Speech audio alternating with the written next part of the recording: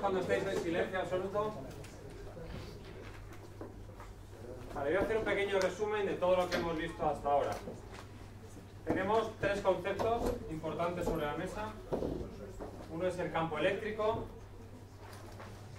y asociado a él es el concepto de fuerza. Otro es el potencial y asociado a él está el concepto de energía potencial electrostática. Y otro es el concepto de trabajo para mover una carga y energía de un sistema de cargas. El trabajo para mover una carga me dice lo que le pasa a una en el contexto de otra.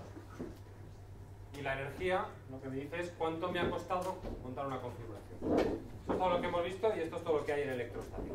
Lo que vamos a hacer ahora es intentar conectar qué herramientas tenemos para comprender cómo calcular cada una de estas cosas. Pues empezamos por el campo eléctrico.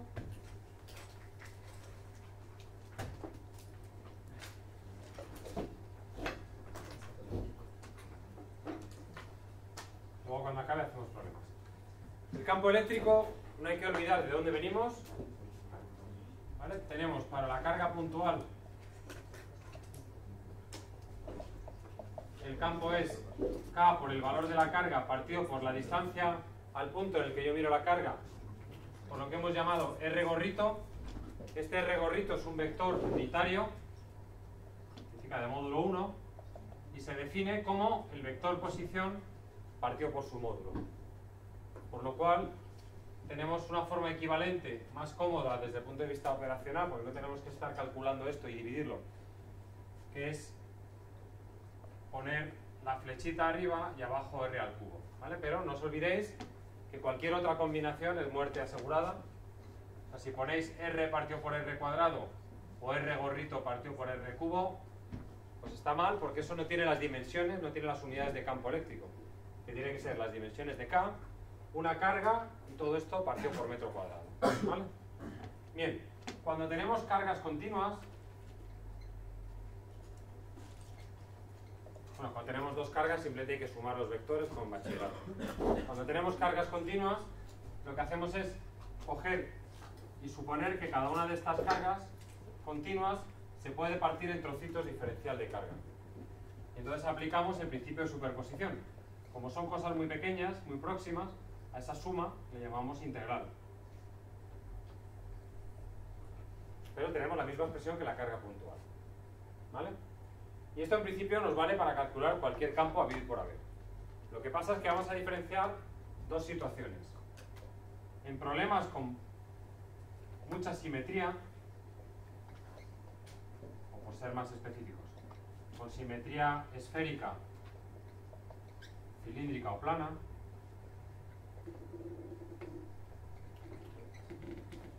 podemos evitar hacer este cálculo si utilizamos la ley de Gauss que nos dice que esta integral espantosa del campo por un vector normal en la superficie, cuando vamos haciendo el producto escalar y luego sumando, solo depende de la carga en el interior. Y cuando tenemos mucha simetría, de alguna manera,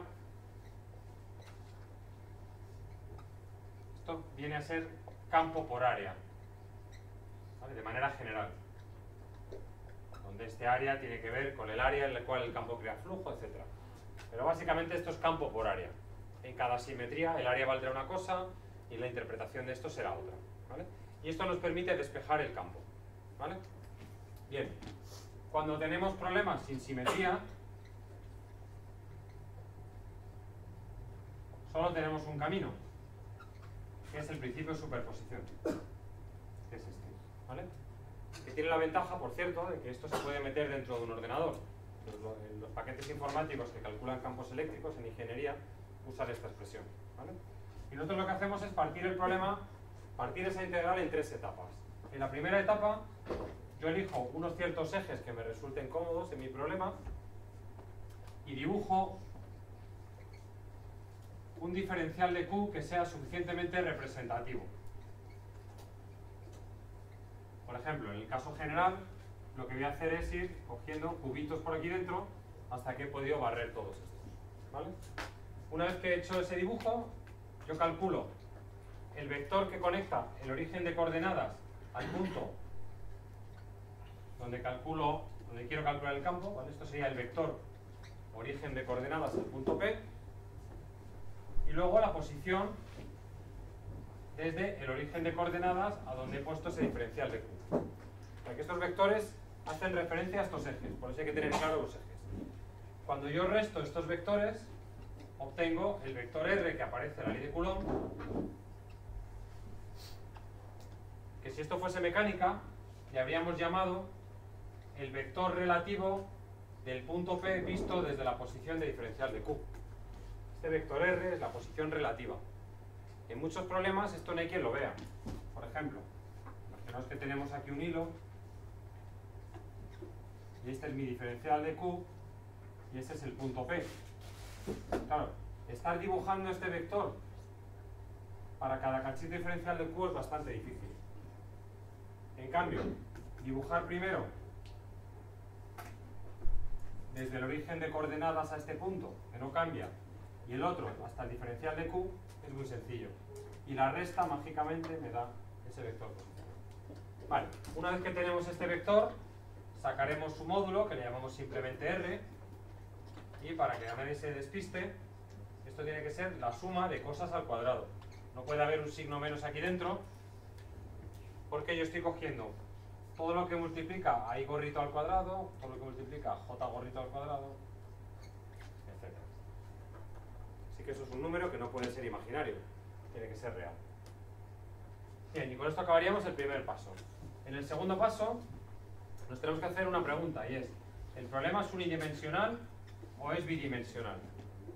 Si es unidimensional, nuestro diferencial de carga lo que implica es que estamos cogiendo el hilo y lo estamos troceando en cachitos diferencial de Q que son pequeñas longitudes de este hilo. Así que lo que hago es relacionar este diferencial de Q con esta longitud. Normalmente hacemos una regla de tres. Decimos, si todo el hilo tiene una carga Q mayúscula, un cachito de hilo tendrá una carga diferencial de Q. Una forma de hacer ese cálculo automáticamente es definiendo esta lambda que es la densidad de carga. Pero que no existe, lo único que existe es la carga. Y lambda no solo se define para hilos. Por ejemplo, si yo tuviese este cilindro cargado con una carga, yo también puedo definir una lambda, aunque, tenga, aunque sea un cilindro macizo y esté uniformemente cargado. Porque yo puedo decir, imaginaos que la tapa es un quinto del cilindro. Bueno, pues la tapa tiene un quinto de la carga, porque tiene un quinto de la longitud. O sea que lambda no existe. Lambda no es el hilo. Lambda es una medida que yo uso en hilos para poder calcular el carga. Bien, entonces, aquí toda nuestra dificultad se basa en decir quién es diferencial de L. Entonces, en coordenadas rectilíneas podrá ser de X, de Y o de Z. En coordenadas curvilíneas, pues será un arco de circunferencia. Pero recordad, esto es una longitud, tiene que ser metro. Metro por radian es metro. Pero diferencial de teta solo no sea que si en, un aro ponéis lambda por diferencial de teta, os falta una unidad, una longitud. ¿Vale? Bien, y el tercer paso es el más directo. Esto sí que es entrar sin que nadie se dé cuenta. De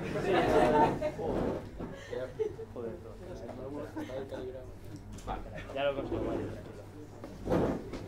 No puede ser más discreto. Bueno, el tercer paso es una vez que hemos definido nuestro diferencial,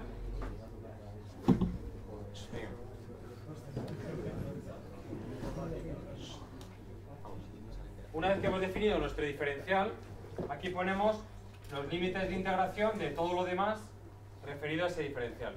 Y siempre, en este curso, salvo una excepción, que es Gauss, ahora lo comentaré, de menor a mayor. Ya, pero es que el hilo está, da igual, el sentido el sentido del hilo, si está en el eje positivo o negativo, lo hemos decidido aquí, perdón, aquí, en el R del diferencial de Q. Aquí yo siempre de menor a mayor, si no estaría dos veces cambiando el signo.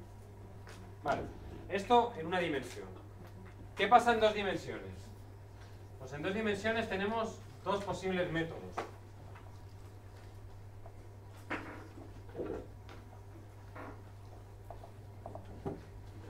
el método machote, que es definir un diferencial de área en esa superficie, por ejemplo, si tengo un disco, yo puedo partir, esto es el radio y esto es el ángulo, yo puedo partir esto en un cachito de radio y un cachito de arco. Y este cuadradito tiene área porque es un cuadrado. Y esto será lo que en matemáticas llamáis el jacobiano de las coordenadas polares. Si yo tengo un rectángulo, yo parto esto en cuadraditos así. Esto tendrá una base, esto tendrá una altura, y eso es un cuadradito, luego tiene un área. Entonces yo cojo defino una sigma, si no me la dan, pues es la carga total entre el área total. La sigma no existe, ¿de acuerdo? Sigma son los padres. Uy, voy a tener que poner Y diferencial de área tiene que ser un área, metro por metro. ¿De acuerdo?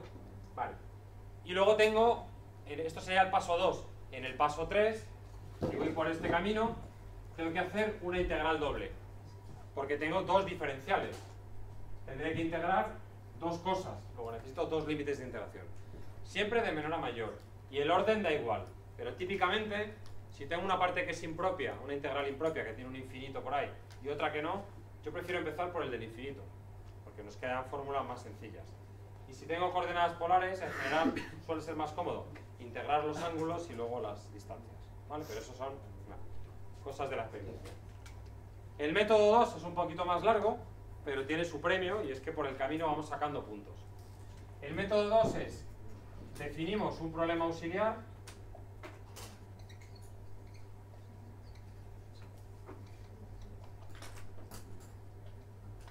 en una dimensión. Por ejemplo, si yo tenía que calcular el campo de una superficie que es un circulito, puedo definir un problema auxiliar que sea un aro. La idea es que luego, cogiendo este aro y otro por aquí, y otro por aquí, y otro por aquí, al final relleno completamente ese anillo. Si es una arandela, tiene aquí un agujero, pues iré rellenando desde aquí hasta el borde.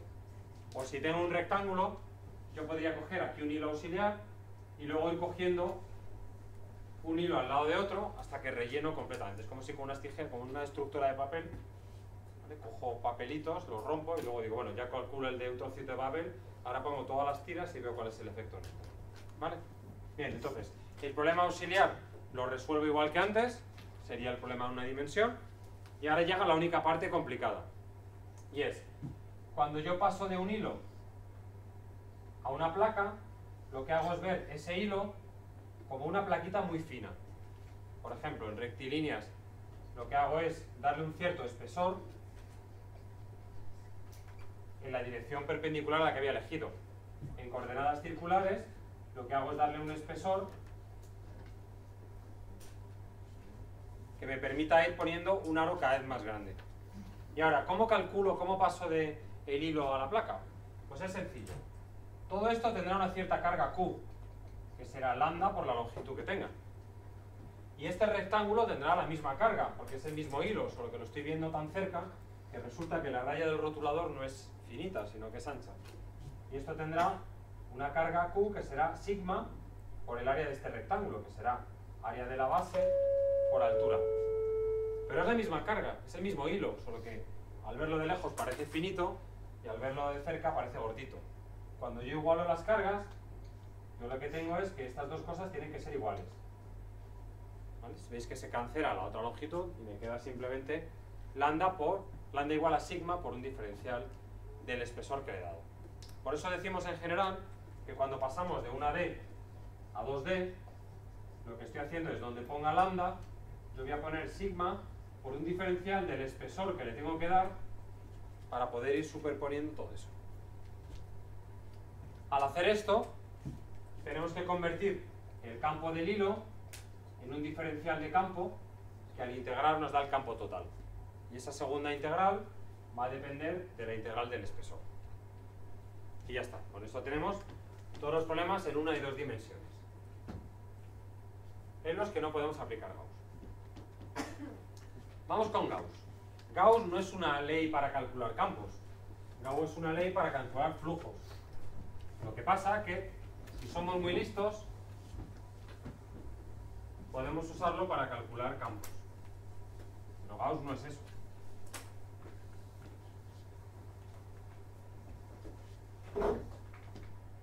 Lo que dice la ley de Gauss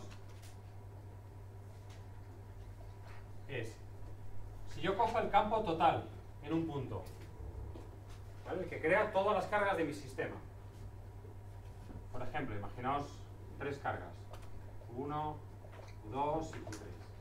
Y yo ahora cojo una superficie, el campo que crean las tres, que irá cambiando, por ejemplo, en este punto, pues será una cosa así,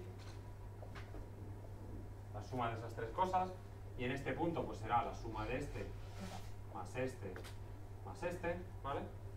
Si yo hago la integral del campo por un diferencial que es un cachito de área perpendicular siempre hacia afuera,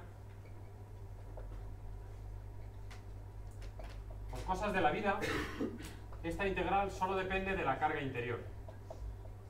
Es decir, este campo es la suma de todos los campos. Pero esta carga interior solo es Q1 más Q2. Y esto lleva al error de pensar que cuando cojo una superficie gaussiana, si solo encierro dos cargas, este campo es el campo que crea esas dos cargas. No. Este es el campo total, que crea las de dentro y las de fuera. Solo que el flujo, es decir, las líneas que atraviesan, solo depende de eso. ¿Y eso por qué es? Porque esta tercera que se ha quedado fuera crea un campo que entra por aquí, pero sale por aquí. Luego no crea flujo neto. ¿Vale?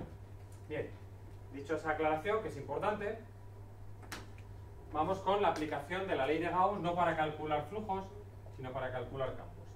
Entonces, si tenemos simetría esférica,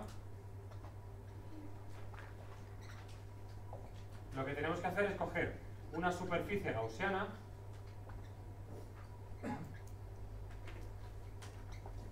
que sea una esfera concéntrica con el problema.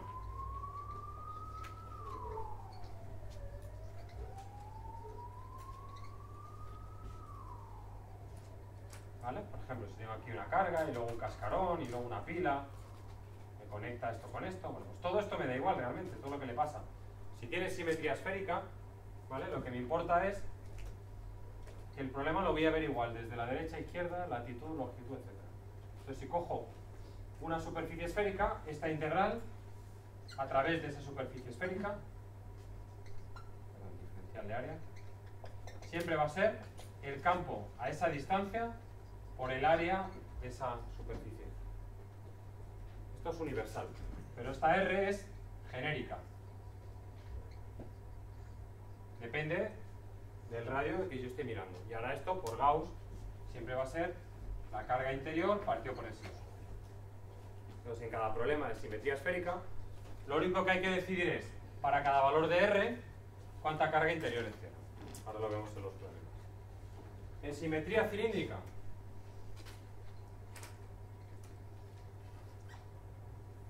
bueno, pues lo que hacemos es coger superficies cilíndricas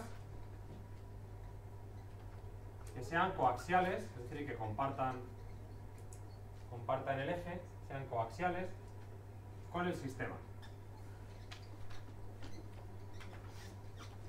Es decir, si tenemos un cilindro infinito, si no es infinito no nos vale la simetría cilíndrica, o que nos digan es mucho más largo que el radio, pues entonces cogeré cilindros coaxiales. Es decir, cilindros en los que el eje de este cilindro imaginario, de esta gaussiana y de este hilo, sea, de este conjunto de hilos, sea el mismo eje.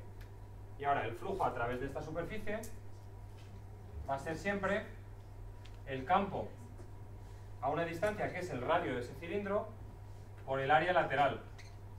Si alguien no se acuerda del área lateral de un cilindro, que coja unas tijeras, coge ese cilindro y los tira. Y esto va a ser un cilindro de altura h y base 2πr. Por tanto, 2πr por h. Y esto va a ser igual a la carga interior partido por epsilon sub 0. Esta carga interior tiene que ser proporcional a h.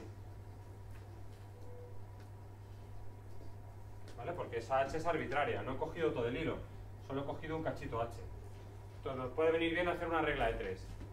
si toda la carga que tengo es Q para la longitud total del hilo, que no es infinita, sino que es muy grande, ¿cuánta carga interior tendré si solo tengo un cachito? ¿Vale? Y esto lo que me permite es definir una lambda que es Q partido por L, pero no es obligatorio, puedo hacerla, mantener la carga y ya está. ¿vale? Pero todos los problemas de simetría cilíndrica tienen la misma expresión del flujo. ¿vale? Y tercer caso, que es el, vuestro favorito, que es la simetría plana.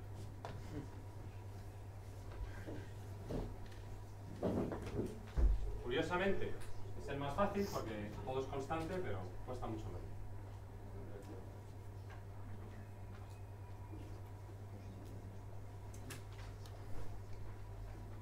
Vale, pues en este caso hay que coger una superficie gaussiana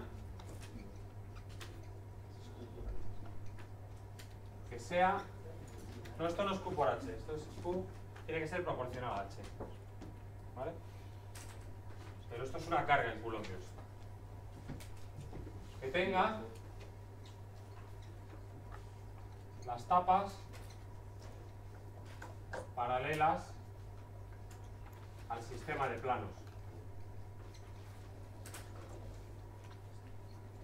Y en ese caso el flujo será más menos el campo por la izquierda por el área de la tapa, más menos el campo por la derecha por el área de la tapa.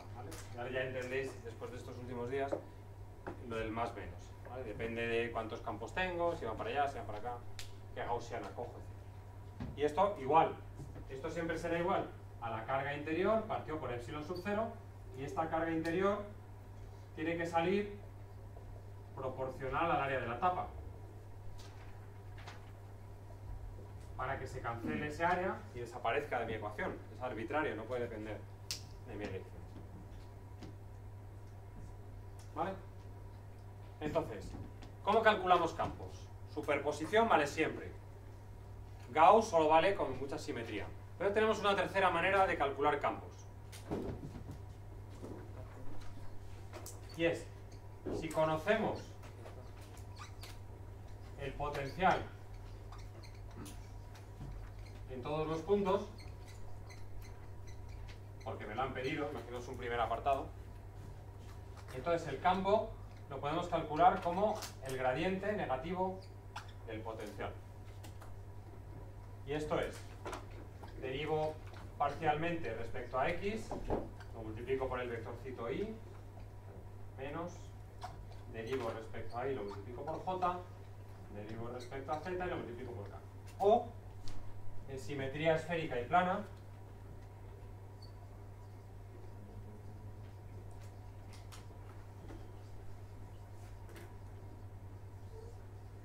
perdón, bicilíndrica,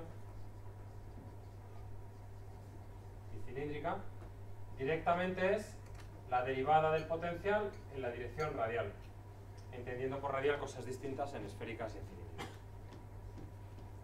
Bueno, pues ya está, ya tenemos todas las maneras habidas y por haber de calcular campos. El año que viene veréis otra, pero no os la voy a destripar. Os hago spoiler. Que involucra el concepto de divergencia, que os lo explicarán en algún momento de este curso. Vamos con potencial. Ah, perdón, fuerzas.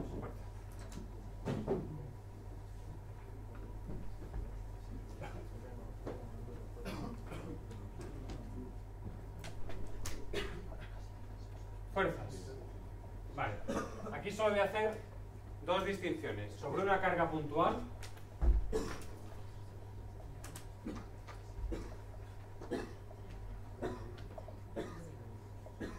La fuerza es la carga que sufre la fuerza por el campo que crea la fuerza.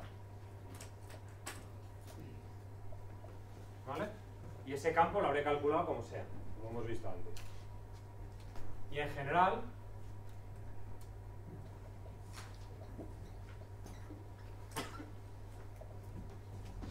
la fuerza será suponer que el que la sufre está hecho de carguitas muy pequeñas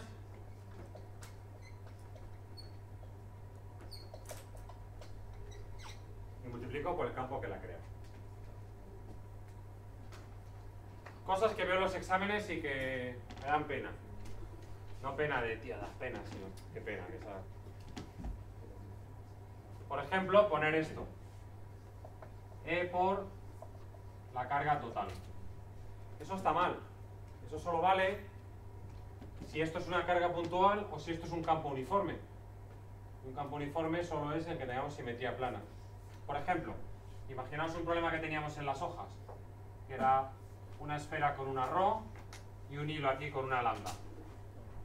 ¿Vale? Pues decir que esto es lambda por L y multiplicarlo por el campo, luego ya empezamos con la creatividad. En el centro de masas o en el extremo. esto está mal. Así que intentad evitarlo. Y otra cosa que está mal, que también me da pena, es poner el módulo del campo en vez del vector campo.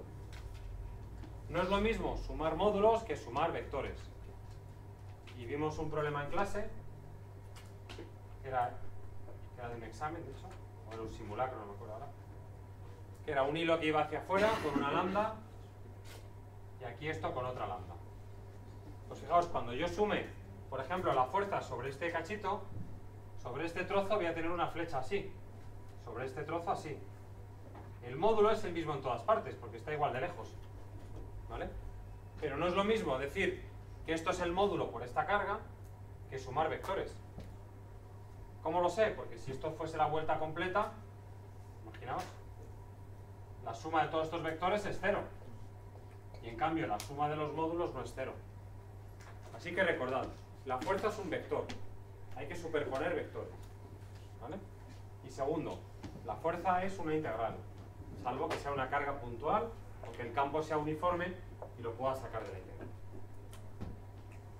¿Alguna duda de esto?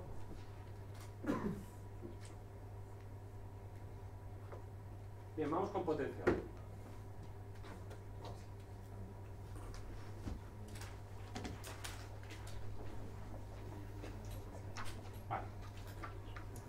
Lo primero que definimos es la diferencia de potencial.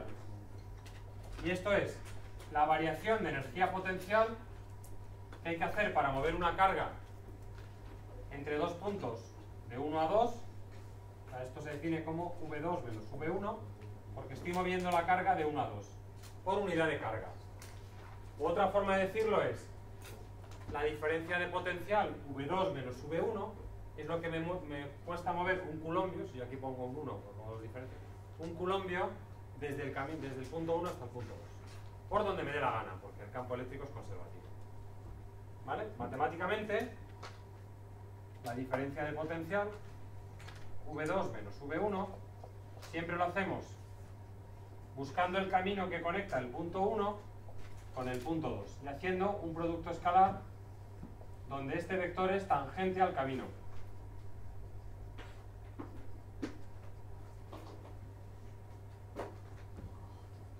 Yo sé que esto está un poco por la calle de la amargura. Pero bueno, como comentarios generales. En simetría esférica o cilíndrica,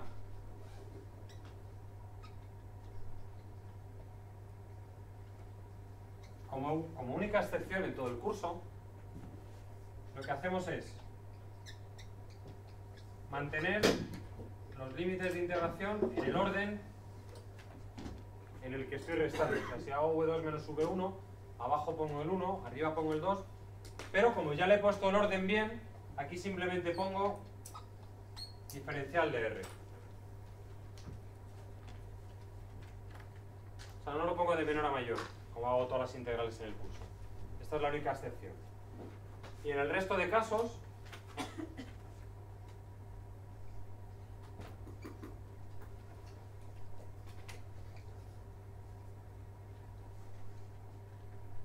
principio mantengo aquí el nombre abstracto.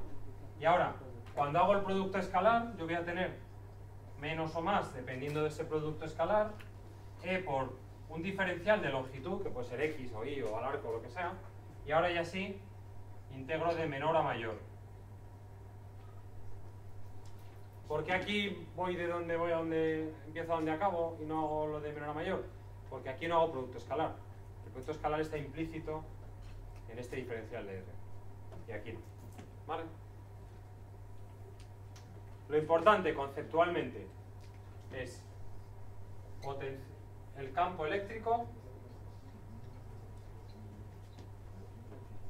apunta de mayor a menor potencial. ¿Vale? Bien, y esto es todo lo que hay que saber de potencial. Casi. ¿Cómo calculamos potenciales? Pues siempre tenemos la fórmula general, pero también podemos hacer el principio de superposición.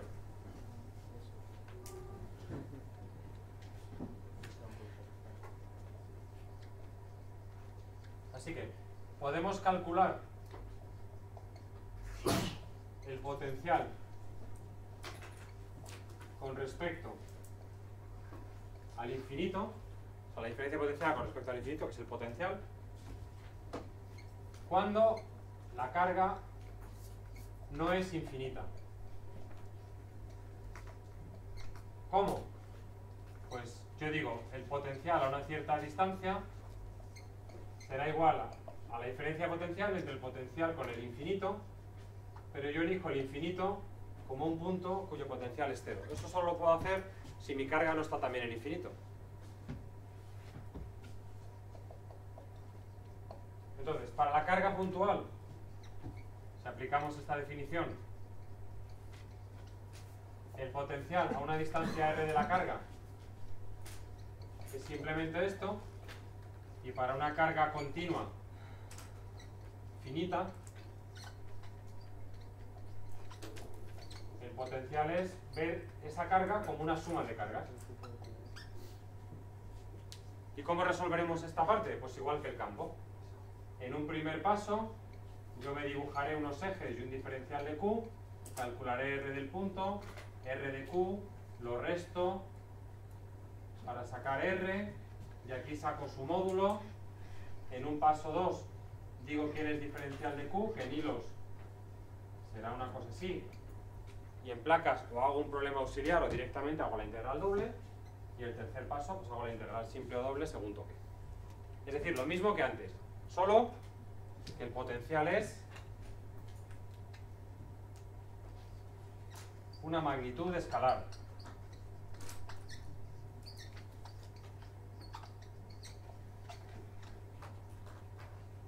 Yo es que me estaba tan nervioso en el examen que es que le puse componente y JK al potencial. Pues nada, gracias porque he corregido tu examen en cero segundos. ¿Vale? Pero no lo hagáis. Hacerlo todo bien y también tardaré cero segundos. ¿Vale? Seguimos. ¿Dudas, preguntas? Que ahí el potencial cuando usas eh, Gauss para el campo es sin el vector también, ¿no? El campo. Es el módulo del vector del campo. En geometría plana no, hay que mantener el vector. Vale, en plano. Pero en cilíndrica y esférica solo es el módulo. Con el signo, el módulo con el signo. vale. ¿Por qué pones R vector en el límite de integración y no R a secas?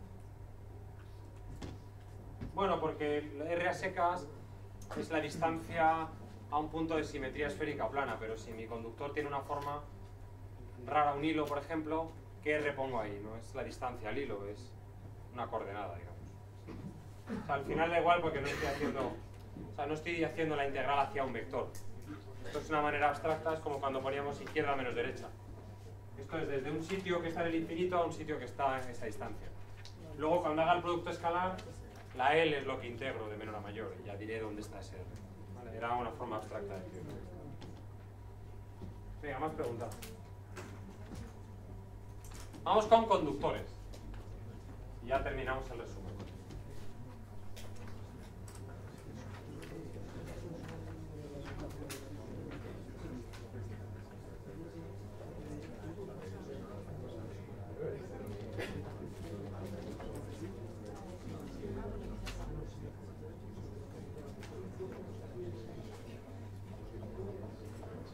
Vale. Bueno, en este curso solo hemos visto dos tipos de materiales. Conductores y aislantes. Los aislantes tienen las cargas fijas. Eso significa que si yo tengo un hilo o una placa aislante o un volumen con una ρ, esa carga no se modifica nunca. Yo puedo acercar otras cargas y aquí no pasa nada, no se enteran de nada. La configuración que tenga en el dibujo es la que tienen siempre.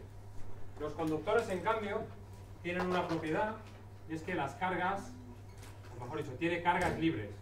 Tiene electrones de valencia que son libres. Como consecuencia, por la repulsión electrostática, se mueven a las superficies, a una de ellas o a varias de ellas. Y esto implica que la carga en la parte sólida es cero, toda la carga es superficial. Como consecuencia de la ley de Gauss, el campo eléctrico en la parte sólida es cero, porque nunca encierro carga ahí. Como consecuencia, el potencial es igual en todos los puntos del conductor, derecha, izquierda, arriba, abajo. Por ejemplo, en estos problemas en los que aquí tenía una Q, aquí se me induce una menos Q y aquí tengo, yo qué sé, ¿os acordáis de aquel? Este era 2Q, menos 2Q, menos 5Q, pues el potencial es igual aquí que aquí, que aquí. en todos los puntos da igual que sea la cara de dentro o la de fuera. Todo es equipotencial. ¿Vale?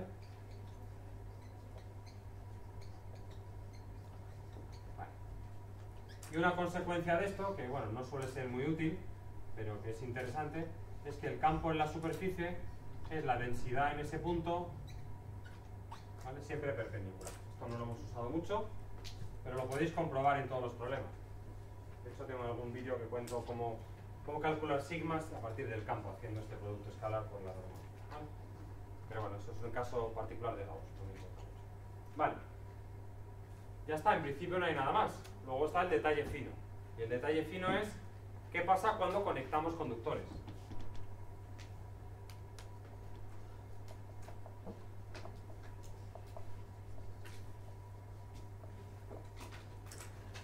Y hemos visto tres tipos de conexiones.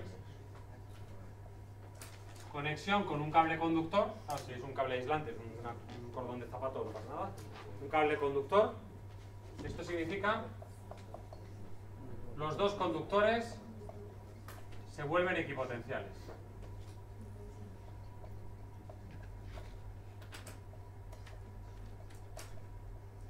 Que matemáticamente significa que su diferencia de potencial es cero. La segunda posibilidad es conectarlos con una pila. Una fuerza electromotriz sería el nombre correcto. Con una pila de voltaje V sub 0. Y en este caso A. Y la carga, la carga neta de los dos se conserva.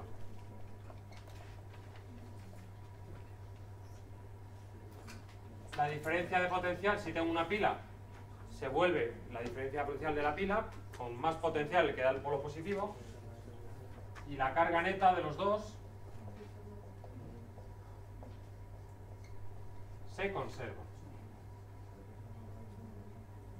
Y la tercera posibilidad es conectar a tierra. Esto lo representamos con este simbolito o con este simbolito. Y en este caso lo que ocurre es que el, el potencial absoluto, es decir, la, diferencia potencial entre el conductor y el infinito es cero. Y la carga no se conserva. Porque la Tierra se conserva si metiésemos a la Tierra en el problema.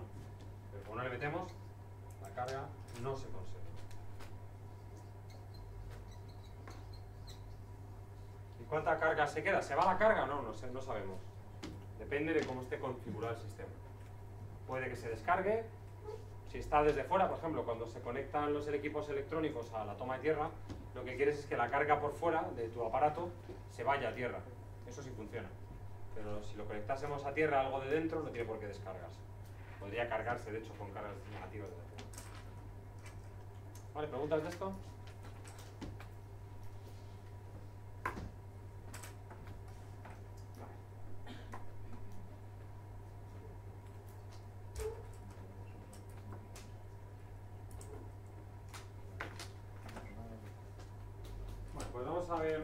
problemas y a ver si... Lo que le di antes a grabar. Sí.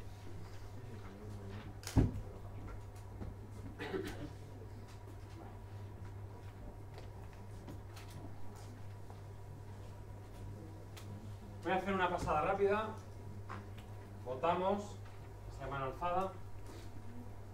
Y luego decidimos, vale.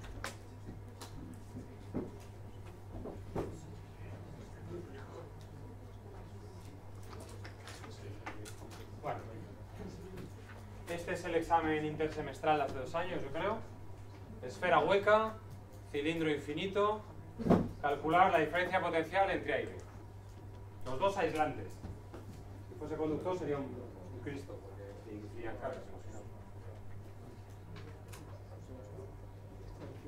Este ya lo hice en la otra tutoría, este también, este también. Este es una esfera uniformemente cargada. Le ponemos aquí un arito de estos de angelito por encima y me piden la fuerza neta sobre ese arito. Siguiente. Este ya lo hice. Este es calcular el potencial, yo creo. El trabajo que cuesta mover una carga desde infinito hasta el origen de coordenadas. Este otro nos da dos hilos finitos y me dice que tenemos aquí una carga aquí arriba. Le damos una cierta colleja inicial y me preguntan, me parece que es cuánto tiene que tener, sí, cuál es la velocidad mínima para que consiga llegar al origen.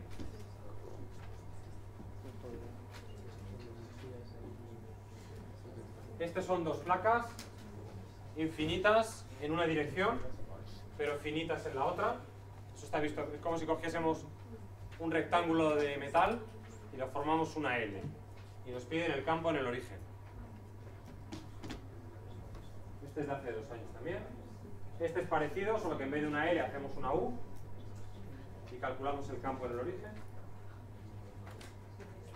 Este son cuatro placas conectadas por dos pilas y me piden la carga neta en cada placa y el campo en cada región.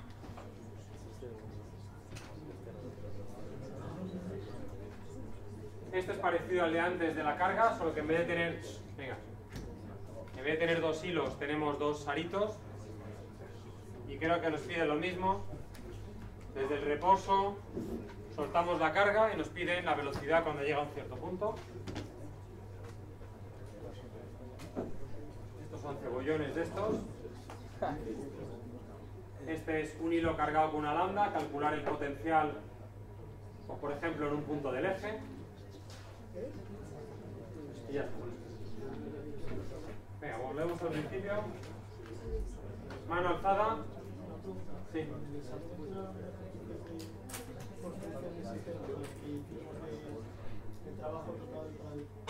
De energía, no nos ha dado tiempo a contarlo bien. Seguimos. Vamos a votar. Mano alzada. Vale. Este no. Este.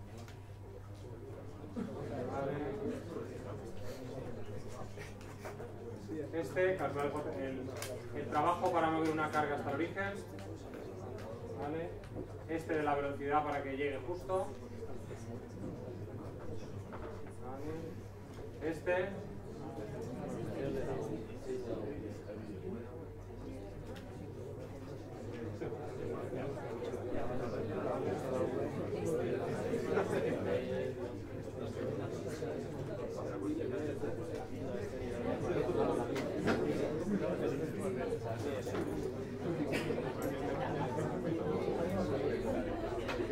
Por suerte que le tenéis más miedo a lo último que a lo primero. Bueno, yo creo que por las manos voy a empezar por este. Sí, sí. Luego voy a hacer este. Y luego vuelvo a.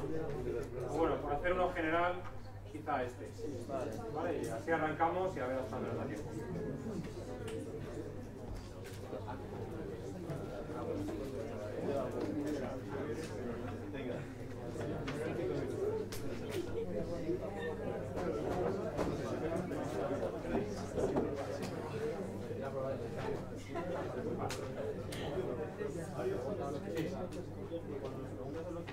¿El qué?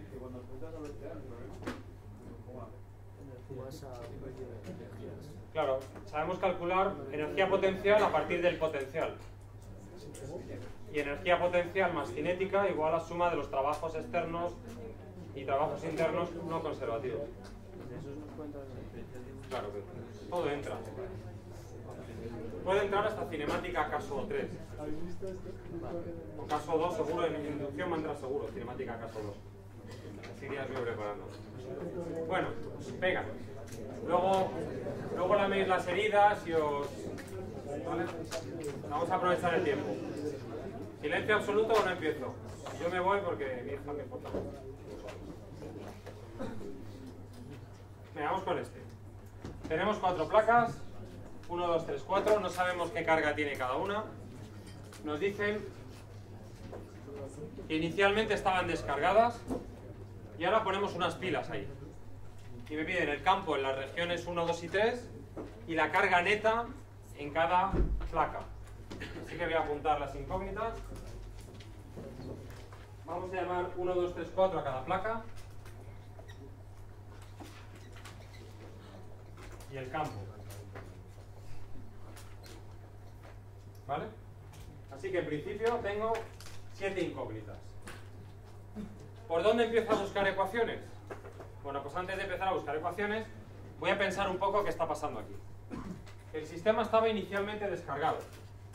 Eso significa que va a estar descargado siempre. La carga neta va a ser siempre cero. Por tanto, visto desde fuera, ¿cuánta carga veo? No veo. Así que el campo aquí va a ser cero, aquí fuera. ¿De acuerdo? Porque la carga neta del sistema es cero. Vale, ahora, empiezan las dudas. Yo tengo aquí una pila, el polo positivo significa que este está más potencial que este. Y aquí tengo otro que me dice que este está más potencial que este otro. Lo que no sé es si este está más potencial que este. Eso depende de si VA o VB es más grande o más pequeño. Entonces, en este caso no tengo muy buena intuición de qué es lo que va a pasar. Puedo tener cierta intuición de cómo se agrupan las cargas, pero no estoy seguro del todo. ¿Vale? Lo que yo creo es que aquí voy a tener cargas positivas, porque estoy en contacto con la carga positiva, y aquí voy a tener cargas negativas. ¿Vale? Porque no sé qué pinta tiene, pero sé que está con el polo negativo. ¿Vale? Bien, dicho eso, voy a pintar los campos a ojo. Este lo voy a pintar así. E1. Este lo voy a pintar así. E3, porque este asumo que va a tener carga negativa. Y el del medio no sé, pero también como este está en el polo positivo, vamos a suponer que va así. Si me equivoco no pasa nada, porque el campo es un vector. Un vector que me sale negativo es un vector pintado al revés. Si soy consistente con las matemáticas, no debería fallar. Vale, entonces, tengo siete incógnitas. ¿Dónde empiezo a buscar ecuaciones? Fijaos, 1 y 3 están conectados por la pila. Eso significa que toda la carga que reparto entre 1 y 3 tiene que sumar 0. Así que automáticamente ya sé que sigma 3 es menos sigma 1. Luego, si a este le había pintado carga positiva, a este le voy a pintar carga negativa. Lo cual es obligatorio ahora con el sentido de la flecha que yo he pintado. O sea que veis que podemos empezar a dibujar cosas y luego ir para adelante y para atrás, como hacíamos con los DCLs. Por las mismas, 2 y 4 están conectados por una pila. Eso significa que sigma 2 más sigma 4 es la carga total que tenían al principio. Este 0 es porque estaban descargados, ¿vale? No generalicéis. El, mismo problema, pero si me diesen carga inicial neta, tendría que poner ahí la carga neta. Por tanto, sigma 4 es igual a menos sigma 2, ¿vale? Y ya tengo otra ecuación más. Me faltan 5 ecuaciones. Lo más importante son los aislantes y las pilas, como os he dicho. ¿vale? Aquí tenemos una pila. La pila me está diciendo que la diferencia de potencial entre el conductor 1 y el conductor 3 se llama V sub A y la diferencia de potencial entre el conductor 2 y el conductor cuadro es lo que en el enunciado se llama V sub B. Esas son dos ecuaciones. Cuando yo desarrolle estas ecuaciones, voy a decir v1 menos v3 es menos la integral, en principio en abstracto, entre 3 y 1, del campo en esas regiones. Así que esto lo tengo que separar en dos integrales. La integral desde 3 hasta 2 con el campo que veo entre 3 y 2, que es lo que he llamado E sub 2 números romanos. Y luego el trabajo que me cuesta ir de 2 a 1 con el campo en 1.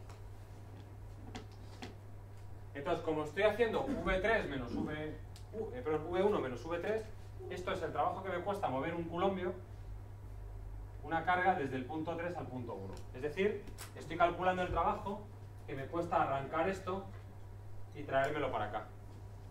Cuando hago ese caminito, mi diferencial de L viene así, como los campos los he pintado hacia la derecha, estos dos productos escalares son productos de dos vectores antiparalelos. Así que esto me queda la integral de E sub 2 diferencial de x, la integral de E sub 1 diferencial de x, y ahora ya, como le he llamado x a ese eje, de menor a mayor. Así que esto será de d a 2d y esto de 0 a d.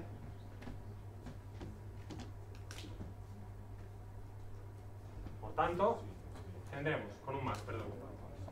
Perdón, sí, el más. Así que me queda E sub 2 por d más E sub 1 por d igual a v sub a. Cuando hayáis hecho unos poquitos de estos ya podréis hacer diferencias de potencial de cabeza, sin tanto rollo de producto escalar.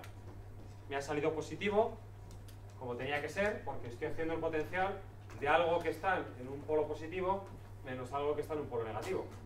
Luego esa cantidad tiene que ser positiva. Y luego, los campos iban dirigidos hacia la derecha. Luego aquí tengo dos saltos de potencial positivos, el primero y el segundo. Vale, esta ecuación me gusta doblemente. Primero porque he utilizado la información del potencial lo antes posible, para no volverme loco con las gaussianas. Y segundo, porque si os fijáis, esta ecuación no me mete incógnitas nuevas. Me mete incógnitas que ya tenía. Así que esta ecuación contribuye.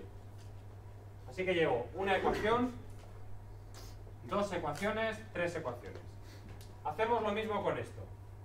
Donde pone 2 le pongo 1, donde pone 4 le pongo tal, y lo que me va a quedar es E sub 2 por D más E sub 3 por D igual a VB. ¿Vale? Lo mismo con otras letras, tiene que salir lo mismo. De nuevo, esa ecuación incorpora dos incógnitas que ya estaban en mi lista. Así que sigo bien. ¿Cuántas ecuaciones llevo? Cuatro. ¿Cuántas ecuaciones necesito? Tres. Así que necesito tres gaussianas. La de fuera no me aporta nada en este problema, porque todo el sistema está descargado. Así que ahora ya la libertad de cada uno para elegir gaussianas, o la manía que le tengamos a unas gaussianas a otras. Por ejemplo, podemos coger esta. ¿Vale? Esa ecuación me va a relacionar sigma 1 con el campo de la región 1. Como lo he pintado así, crea flujo positivo. Así que esto es gaussiana 1, yo voy a decir el flujo a través de la gaussiana 1 será el campo 1 que sale de la gaussiana por el área de la tapa más el campo que sale por la tapa de fuera, que es cero porque el sistema está descargado neto. Igual sigma 1 por el área de la tapa partido por epsilon sub 0.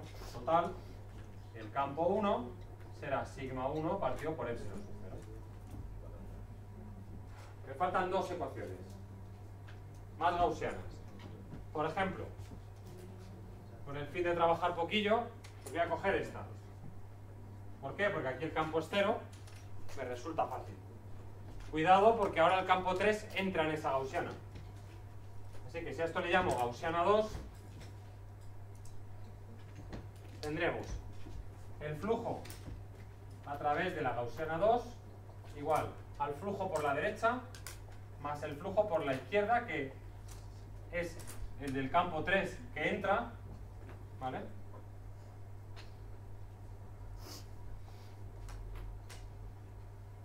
Entra la gaussiana. Este es el campo total, no el que crea sigma 4, el que crean todos. Pero este flujo solo depende de sigma 4. Por tanto, tengo que E sub 3 será menos sigma 4 partido por epsilon sub 0. Vale. Bien. En este no calculas el sigma de cada lado porque te da igual. Porque no me lo pide. No me lo pides. Como es finito, cuando el conductor es finito, puedo sumar las dos, digamos.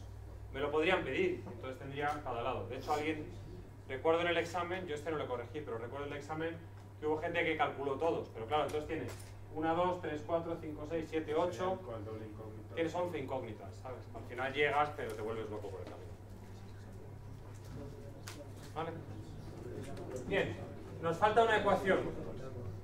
Pues ya la que menos rabia nos dé.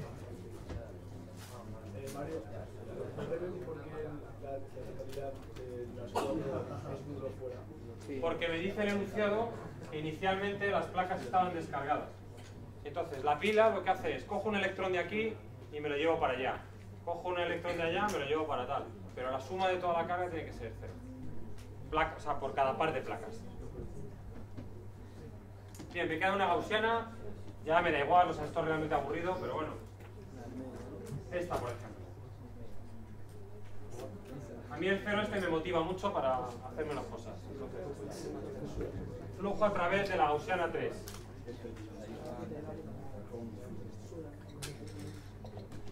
Es flujo por la izquierda más flujo por la derecha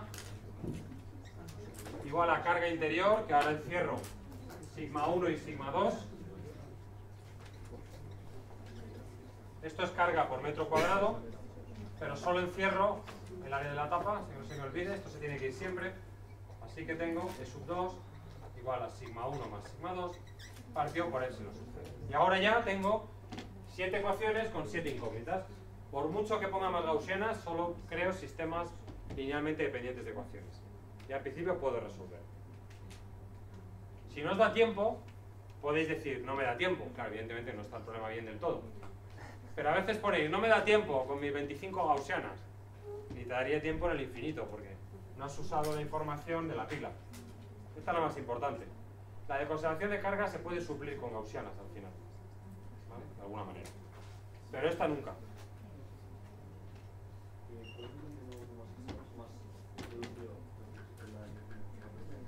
Bueno, más o menos he pensado. Este toca el polo positivo. Y este toca el polo negativo. Luego, este está más potencial que este. Así que voy a suponer que este va a tener un campo que va hacia allá. ¿Vale? Con este y con este lo mismo. Este está más potencial que este. Luego supuesto que va para allá. Y este es el perdedor de todos, el, pues también para allá, porque todo tiene que acabar en él. Si uno y dos son positivos, ¿cómo sabes que la derecha? Porque tiene dos caras.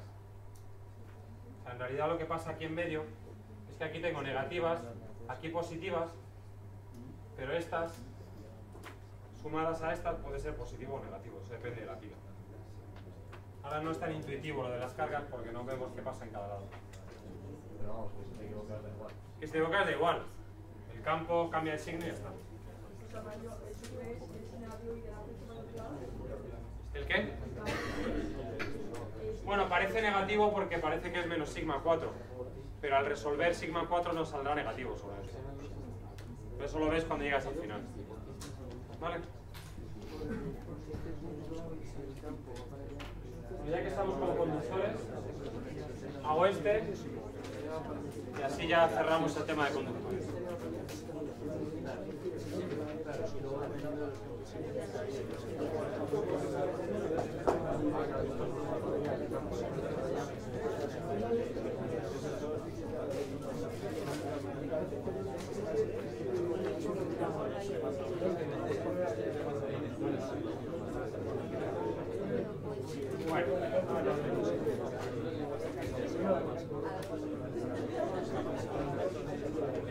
Venga, vamos allá.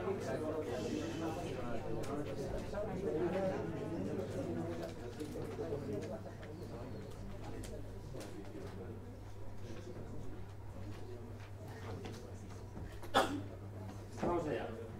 Tenemos una serie de, esferas que no están a escala, nos dicen, con radios R1 y una corteza con radios R3 y R4 y en medio ponemos un aislante de radio R2. La capa no conductora está cargada uniformemente con una carga Q. Esta. ¿Vale? ¿Y esto qué son? ¿Cilindros o esferas? Pero cuidado con los dibujos porque a veces los cilindros los pintamos así también. Son cuartos, o sea, lo que pasa es que es esfera completa, pero el dibujo, para simplificar el dibujo. No me gusta el dibujo porque hay gente que no lo leyó entero y entonces vio el dibujo, se asustó y se fue a otra cosa. Es una esfera entera, pero solo pintamos el quesito. ese. Esfera, cascarón, cascarón. Vale. Esto no lo he hecho yo, yo haría el dibujo en tres dimensiones. Los dos conductores inicialmente estaban descargados y se conecta una batería que mantiene entre ellos una diferencia potencial V. Calcular el potencial en el punto O, referencia nula en el infinito y la carga neta de cada uno de los conductores. Pues venga, vamos allá. Como siempre, parece una tontada que tenga que decir esto a estas alturas, pero lo más importante es saber qué me piden. Hay gente que se pone aquí a poner gaussianas sin saber qué le piden. No, no pongáis como posesos, leedlo. En este caso me pide el potencial. Ya hemos visto que el potencial lo puedo calcular de dos maneras. Por superposición o por la integral del campo. La integral de línea que se llama circulación del campo. ¿vale? En este caso, como tenemos simetría esférica, me resulta más fácil calcularlo de esa manera.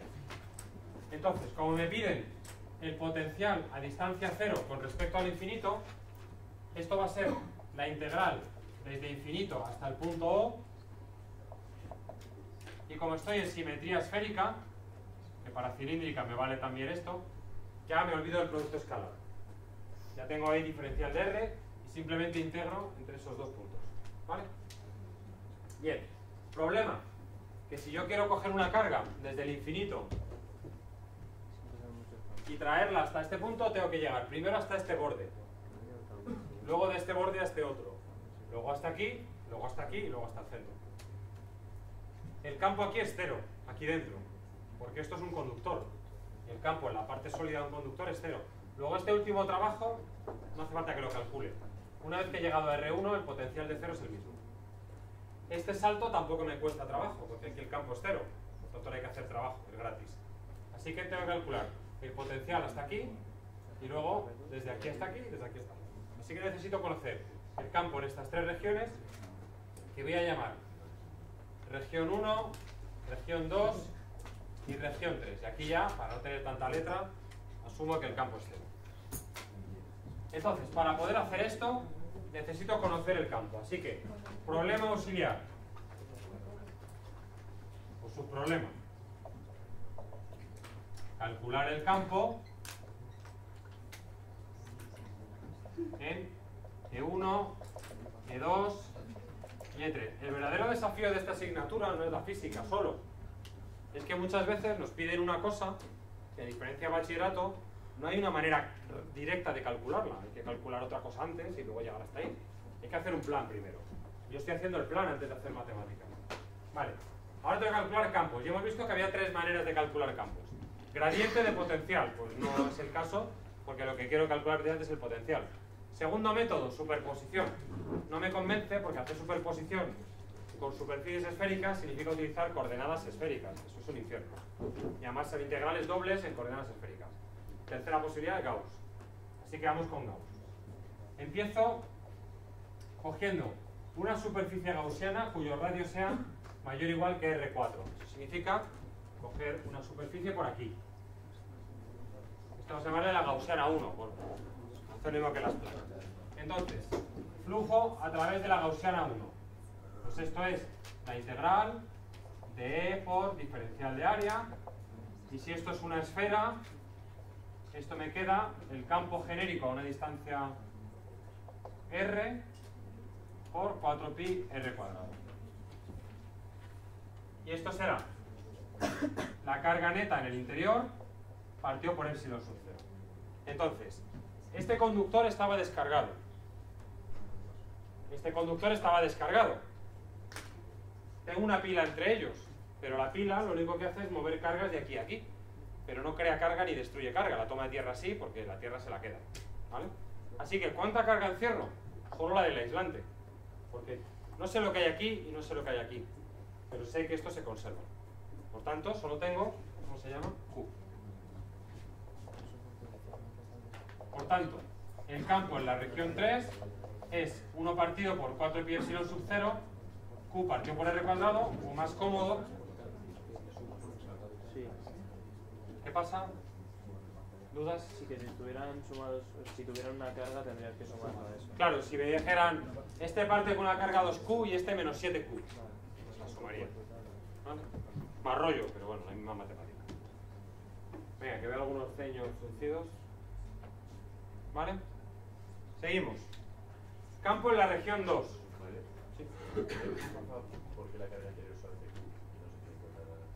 Porque me dicen que inicialmente, esto tenéis que, en los exámenes no se os puede pasar esto, esa información.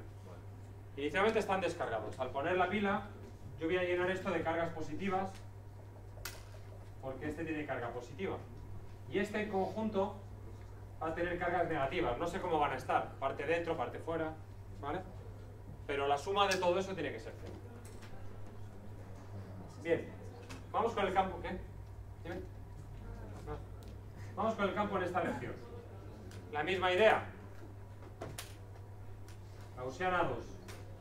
Carga en el interior, el flujo matemáticamente es igual, así que el flujo a través de la Gaussiana 2 será el campo en la región 2 por la superficie de la Gaussiana igual a la carga neta en el interior, que es la del aislante, partido por epsilon sub 0. Por tanto, llamando K a 1 partido por 4 pi epsilon sub 0, K por Q partido por R cuadrado. Y si cojo la última gaussiana, una que vaya por aquí dentro, le llamo gaussiana 1, pues tendremos flujo a través de la gaussiana 1 igual a campo en 1 por el área, esto es el flujo, igual a carga neta en el interior. Ay, perdón, esto está mal. Esto está mal. Ya están conectados con la pila. Luego aquí dentro se habrá inducido una carga, llamémosle Q'1, que ha aparecido por culpa de la pila. ¿Vale? Antes no contaba cuando estaba viéndolo desde fuera, pero ahora sí que tengo que asumir que aquí hay una Q1 y aquí en total una Q'2, que se repartirán las dos caras. Antes todo suma a cero, pero ahora sí que estoy pillando carga. Eso es. Así que me queda campo en 2, Q más Q'1, partido por R cuadrado. Al conectar la pila, se me ha inducido carga positiva aquí y carga por aquí negativa. No sé cuánto vale cada una. Por tanto, cuando yo cojo esta gaussiana, estoy encerrando esta carga de aquí dentro. No sé cómo se llama, la llamo Q'1, ¿vale?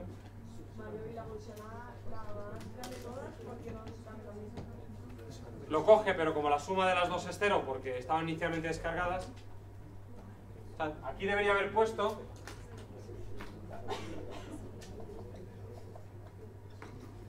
algo así. Pero estas suman cero porque estaba inicialmente descargado. ¿Vale?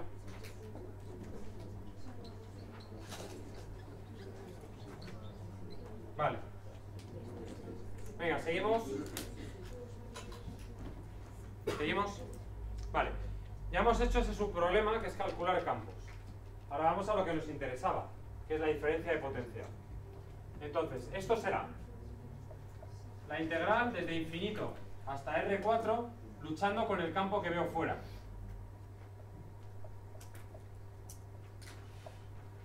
Ya estoy en R4. Ahora tengo que ir desde R4 hasta R3.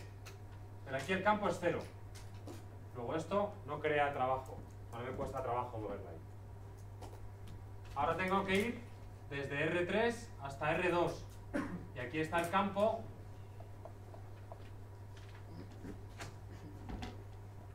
que veo en esa región 2. Y ahora ya me queda de R2 a R1 con el campo que veo en la región 1 y de R1 al origen de coordenadas con el campo que veo en el conductor de dentro, que es cero, luego tampoco contribuyen.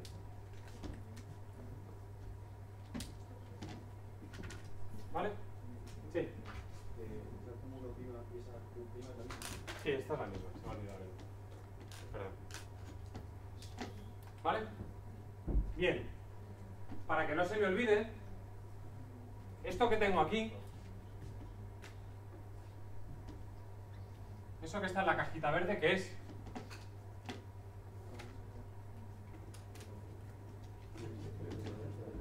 Es la diferencia potencial entre el conductor 3 y el conductor 1.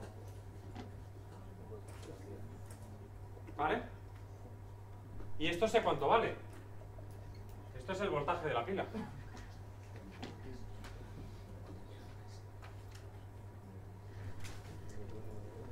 Así que me lo podía haber ahorrado el cálculo. Porque de hecho me lo voy a ahorrar. Una cosa, esa Q1 prima eh, no es la misma que la otra Q1 prima, ¿no? Es una es menos la otra, ¿no? Es, ¿Cuál? o sea, arriba has puesto Q más Q1 prima y luego Q1 prima. Esta Q' 1 es esa. Sí, es, ¿Es la misma? Sí. Sí, porque es la que encierra, eso es la que se queda en, el, en la esfera de dentro.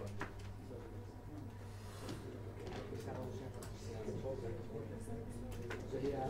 Ah, sí, sí, esto es la 3. ¿Esa Q sería la Q3? No, no, esta es la de adentro.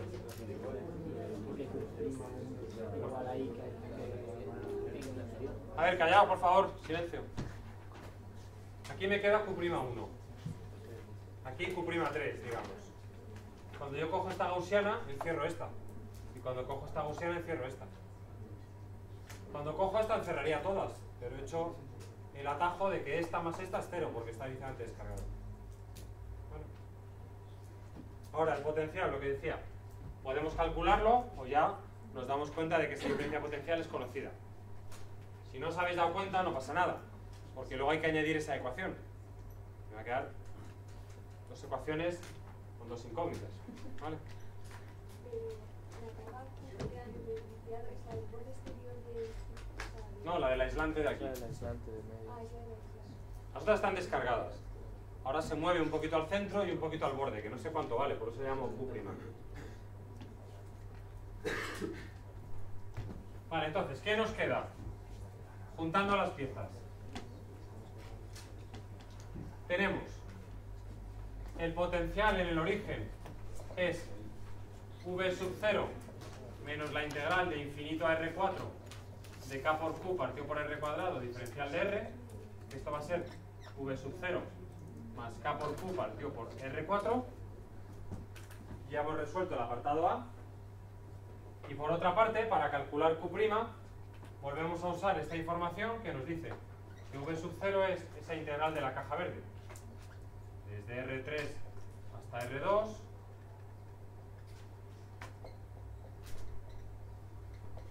Y desde R2 hasta R1. Es decir, V0 será igual a K Q más Q', 1. 1 partido por R2 menos 1 partido por R3 más K por Q'1, 1 partido por R1 menos 1 partido por R2.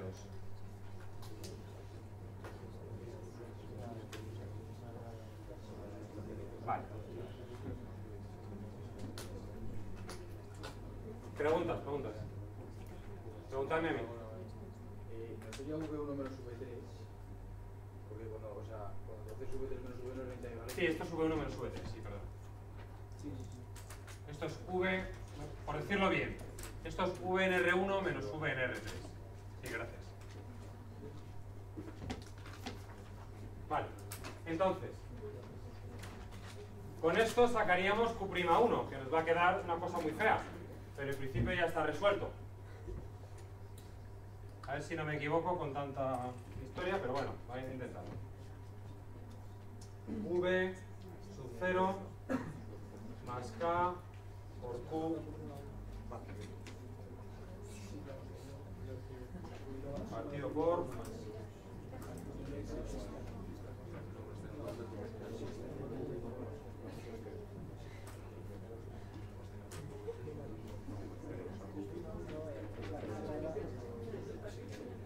Vale.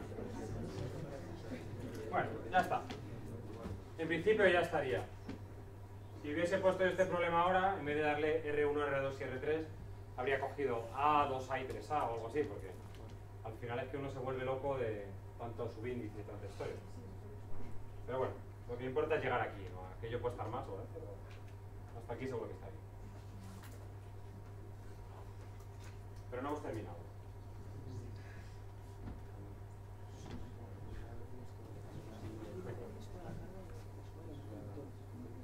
Entonces, ¿qué hemos calculado? Q'1. Entonces, ¿cuánta carga me queda aquí? Pues si lo hago con una gaussiana, si cojo una gaussiana que pasa por aquí, como aquí el campo es cero, significa que la carga neta en el interior de aquí es cero, todo lo que hay aquí dentro. Así que aquí se me induce menos todo lo que encierra. Menos Q'1 más Q. ¿Y aquí fuera cuánto me queda?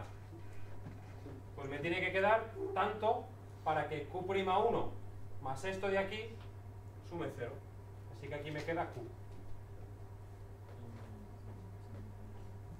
Puedes repetirlo, pero no. Sí. ¿Esta primera parte bien? No. Vale. Bueno, pues dejar de copiar y mirar métodos. Sí, mejor. Si yo cojo una gaussiana por aquí dentro, aquí el campo vale 0. Luego el flujo vale 0. Vamos a llamar a esto gaussiana 4. Entonces tendremos, intentarlo aquí. El flujo a través de la gaussiana 4 es 0, porque el campo es 0.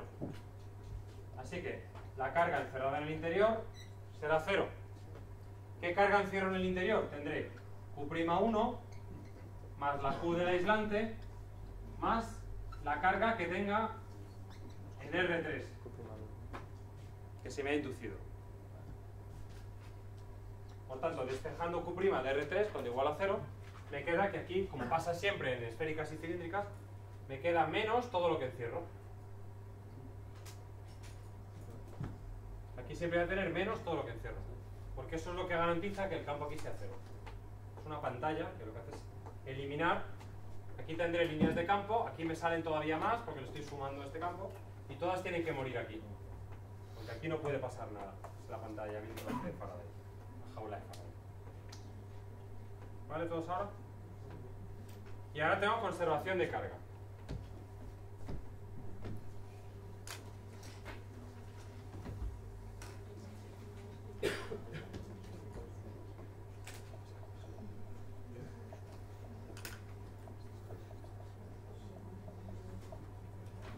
Tendremos la carga que se me ha quedado en R1.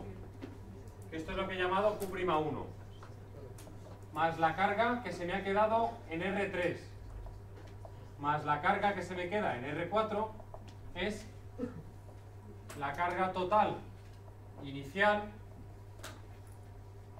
de los dos conductores conectados.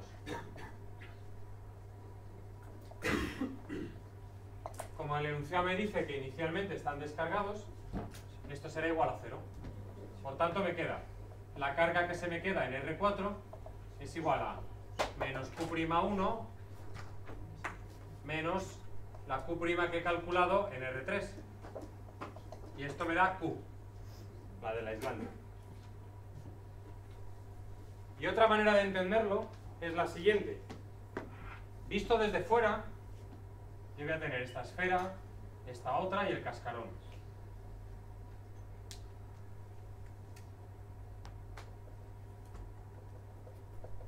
Pero visto desde fuera, es como si yo tuviese una carga puntual de valor Q justo en el origen.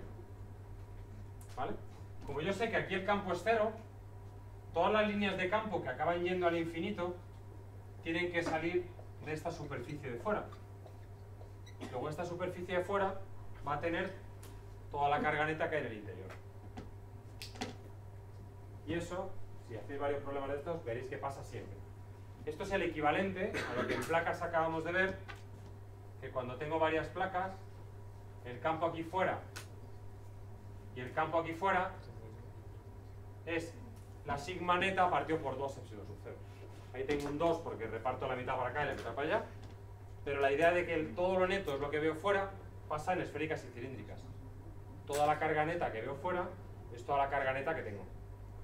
Por eso fuera me ha quedado que la carga es. Se ha inducido esa carga por culpa del aislante en el exterior. ¿Vale? Entonces, mi consejo es, en vez de hacer este, haced el que os puse el otro día con R, 2R y 3R y 4R, porque si no os quedan unas fracciones infames. Y practicad distintos casos hasta que cojáis el saborcillo de lo que está pasando. ¿Vale? Mira, que nos da tiempo a hacer uno. Entonces, Q' sub 1 más Q más Q' sub R3 tiene que ser. Sí, Sí, sí, sí. por inducción. Pero eso no es por conservación de carga, eso es por inducción. Porque la gaussiana a través de la- del sólido es cero. ¿Vale? Entonces, entiendo que uno se equivoque con, lo- con algún signo. Entiendo que alguno se equivoque con la con las integrales, etc. Pero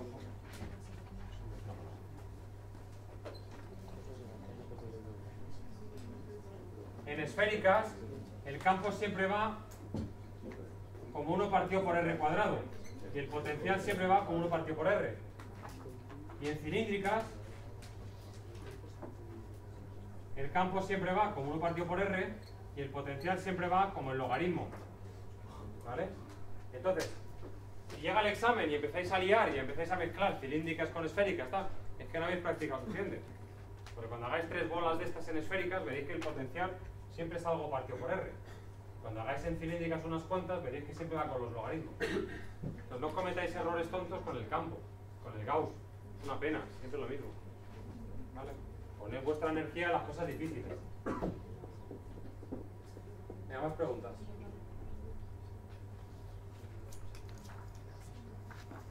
Vamos a hacer este.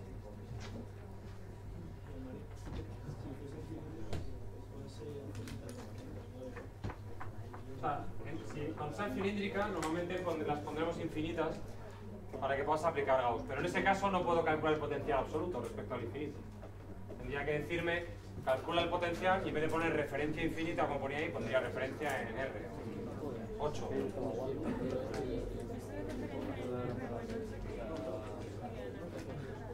Claro, pero cilíndrica normalmente preguntamos potencial. O te dan una toma de tierra, ya sabes que ahí el potencial es cero. Pero, ¿qué más da eso que hacer diferencias? Venga, vamos allá.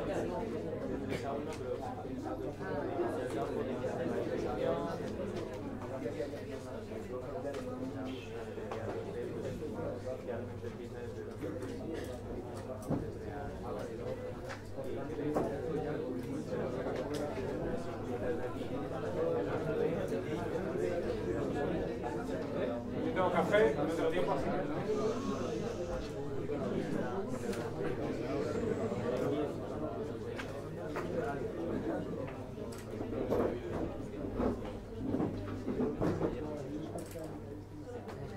Venga, principio de conservación de voz. Tengo que apuntarme a algún curso de, de aprender a hablar. Venga, vamos allá. Este en realidad es un problema que es el que parece.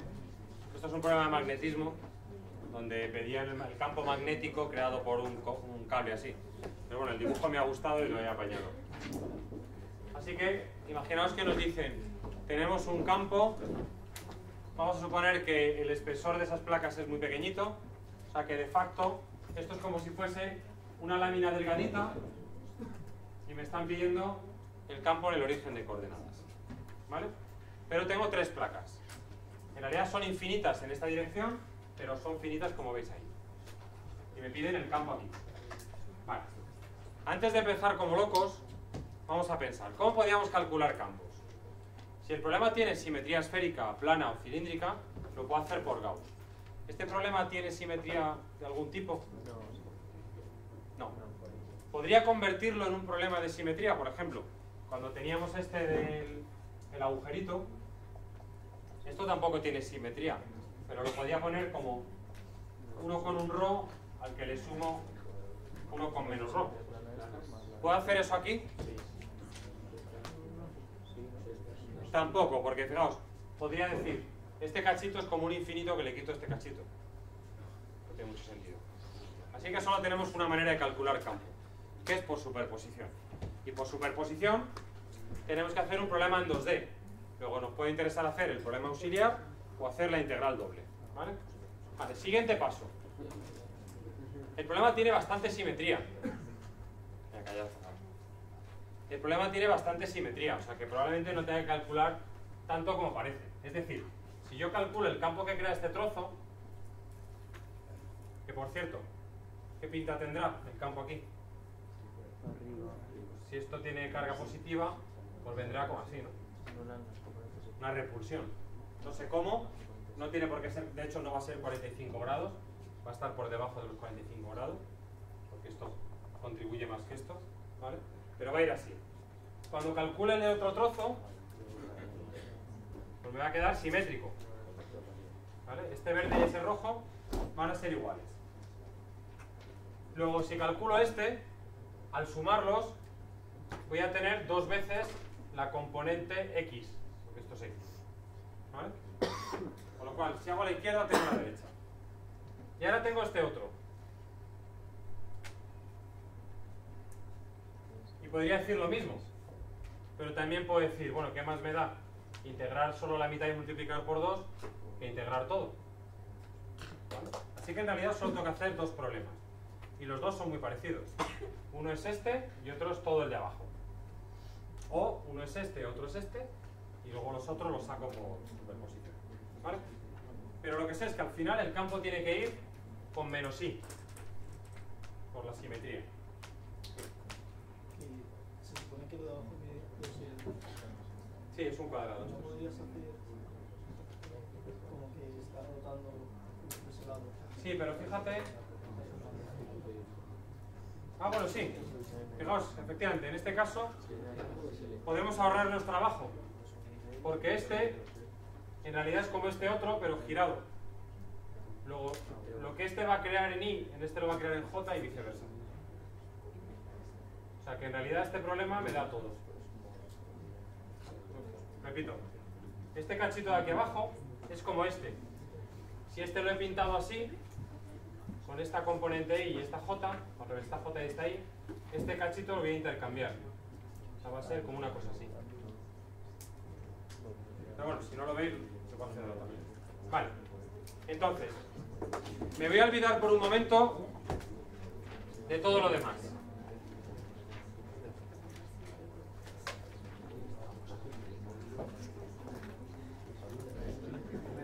Callaos, venga, por favor. Me voy a olvidar de todo lo demás. Tengo aquí una sigma. ¿Por qué le llamo sigma? Le llamo como me dé la gana, ¿vale? Pero bueno, tengo una cierta superficie. ¿Veis? Es una superficie bidimensional. Y quiero calcular el campo. Lo puedo hacer de dos maneras, por integral doble o con un problema auxiliar en una dimensión. Si hago un problema auxiliar, ¿qué es lo que haría? Cogería aquí un hilo con una cierta lambda, calcularía el campo de ese hilo y luego le daría un espesor. Y esto es bastante atractivo, porque este hilo es infinito, porque en esa dirección esto es infinito. Así que de mi problema original, esa que es aquella cosa tan fea, yo lo que voy a hacer ahora es coger una lambda y ponerla ahí. En un punto que está en algún lugar del eje X, pero claramente a distancia L en el eje Y. Voy a calcular el campo de ese problema auxiliar y luego hago la transformación del problema auxiliar a la plaquita 1. Bien, sigo descendiendo en mi plan. Este hilo es infinito, luego lo puedo hacer por Gauss, porque los hilos infinitos tienen la ventaja de que son muy fáciles. Simplemente voy a coger una superficie coaxial cilíndrica, visto de perfil, tengo este hilo y lo que voy a hacer es coger un cilindro de altura h y radio r, aquí la r es esto, y aplico la ley de Gauss. Así que tendremos flujo a través de ese cilindro coaxial, pues será E por 2 pi RH. Carga encerrada en el interior, pues solo contribuye este hilo, que es lo único que me queda ahora. Así que esto es lambda por h partido por epsilon sub 0. Por tanto me queda el campo del hilo infinito, que de tanto verlo ya no lo sabemos.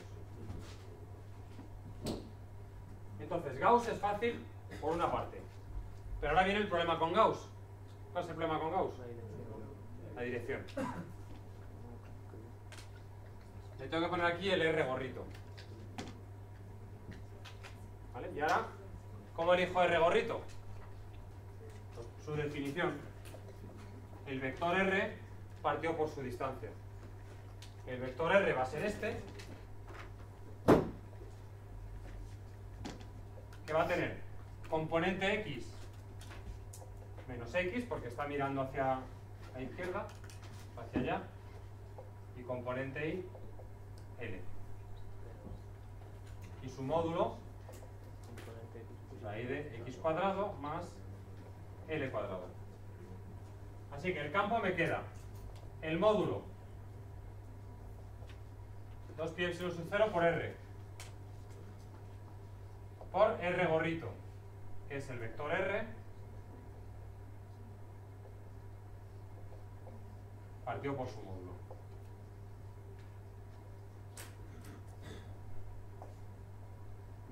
Vale. Otra manera de hacerlo. A ver si esta os gusta más. Sabéis que me gusta siempre pensar las cosas de varias maneras. ¿Vale? Yo tenía este hilo. Esto es lo que he llamado R, que me ha salido por eh, Gauss. Imaginemos que llamamos a esto teta. ¿Cuál será R gorrito? Será ese vector. Que va a tener como componente X el coseno de teta. Pero fijaos que va mirando en menos X. Y como componente Y el seno de teta. ¿Vale? Y ahora digo, ¿quién es el coseno? Pues es cateto contiguo partido por hipotenusa. ¿Y quién es el seno? Cateto opuesto partido por hipotenusa. ¿Veis que me da lo mismo? Pero en vez de pensar en vectores, pienso en trigonometría, si a alguno le convence más. Es lo mismo, claro que lo mismo. ¿Vale?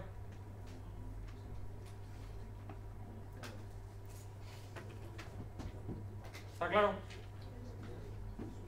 Vamos a hacer un chiste malo. Let's recap.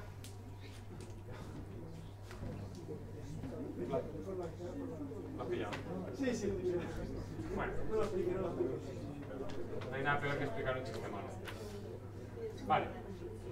Ya hemos creado el campo de ese hilo, pero nuestro plan era reconstruir toda esta placa. Entonces yo ahora digo, donde tenga lambda, voy a tener sigma por el diferencial del espesor. ¿Qué espesor? El espesor que le tengo que dar a este hilo para poder reconstruir mi placa. En este caso, ¿cómo se llama ese espesor? X. Por tanto, tendré el campo de la placa será, o si queréis, el diferencial de campo de la placa será coger esta fórmula donde ponga lambda, pongo sigma por diferencial de espesor, voy a simplificar un poquito el denominador para que sea menos feo.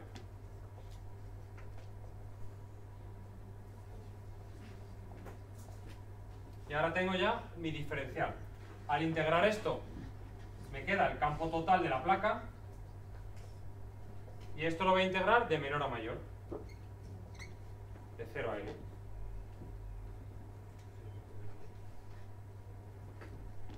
Y esto me da dos integrales de la tabla, de esa que tenéis todos impresa, que tenéis aquí.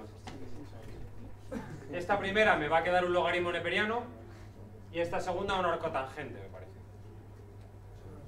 Arcotangente de sí.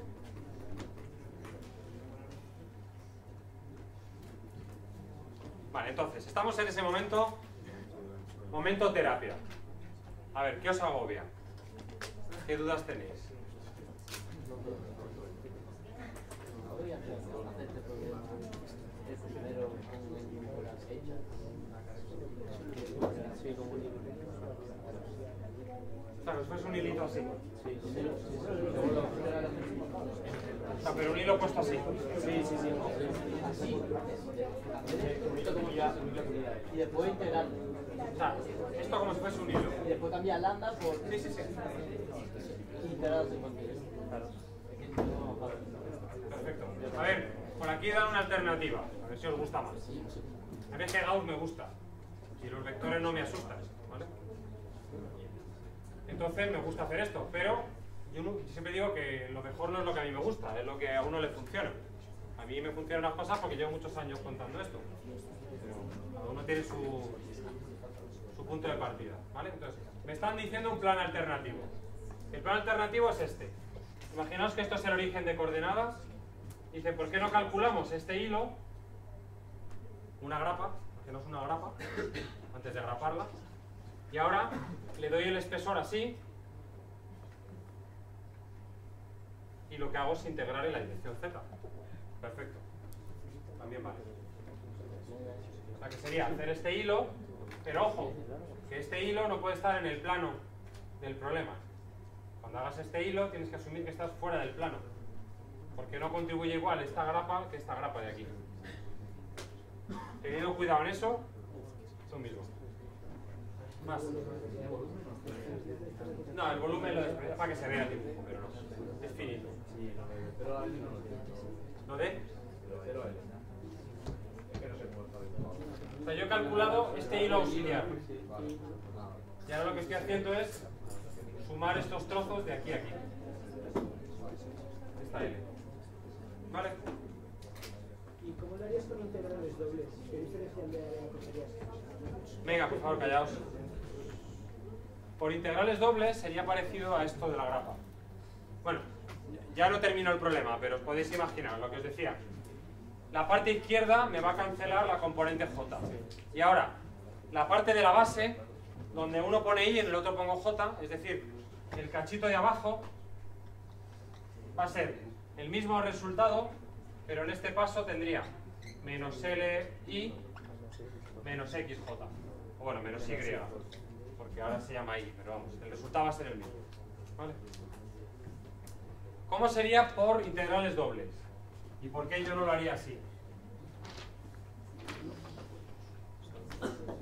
Vale. Para empezar, por integrales dobles tengo que tener buena visión espacial. Yo estoy calculando por integrales dobles el campo creado por esta chapa de aquí. En el origen de coordenadas que vamos a ponerlo ahí, en el centro, por ejemplo. Entonces, integrales dobles implica que en el paso 1, cuando yo digo ejes más dibuja un diferencial de Q, tengo que dibujar un diferencial de Q aquí. Es decir, yo le voy a poner una cosa así. Eso requiere un poquito de visión espacial. No pasa nada, hay gente que la, la tenemos, ¿vale? Se me va bien el dibujo. Aprobé un examen de dibujo, o sea, saqué un 10 en el examen de dibujo, porque el profesor redactó de tal manera que podías visualizarlo, era de estos de proyectar un triángulo, o no sé qué. Y si visualizabas el problema, como el enunciado solo decía, dibuja la proyección de tal, ah, hice un triángulo equilátero. O sea, yo lo veía directamente sin hacer proyecciones. O sea, tengo buena visión espacial. Lo cual no significa nada, soy penoso para millones de cosas más. Vale, por eso me dedico a esto, claro, esto selecciono todo. Dibujo el diferencial de Q. Y ahora digo, R del punto, 0. R del diferencial de Q. Y aquí viene lo difícil. Es elegir uno que sea suficientemente genérico para no liarme. Entonces, si este es mi eje Y y mi eje X viene hacia acá, ¿vale? ¿Qué coordenadas tiene eso? Pues así no se ve muy bien, pero bueno, yo podría decir, voy a ponerlo en algún lugar del eje Z, ¿vale? Porque me he tenido que venir hasta aquí, en algún lugar del eje Y, pero a distancia L, porque estoy justo aquí, y luego a esta altura, en algún lugar del eje X. ¿Vale? Ya está, ya he hecho lo más difícil. ¿Por qué? Porque en el paso 2 solo estoy cogiendo esta dirección de aquí, que es X, esta dirección de aquí, que es Z. Luego mi diferencial de área es de X de Z. La Z la integraré de menos infinito a infinito y la X de 0 a L. Entonces, pregunta, ¿por qué no lo hago por integrales dobles? Vosotros mismos. ¿Vale? Sí, sí, y además eso. O no gano, sí. O luego la otra lógica del problema es la misma. No le veo ventaja. Dime. Venga, que no oigo. Cambiando la I por la J. Sí, en realidad podría haber hecho, podría haber llegado un poquito más lejos.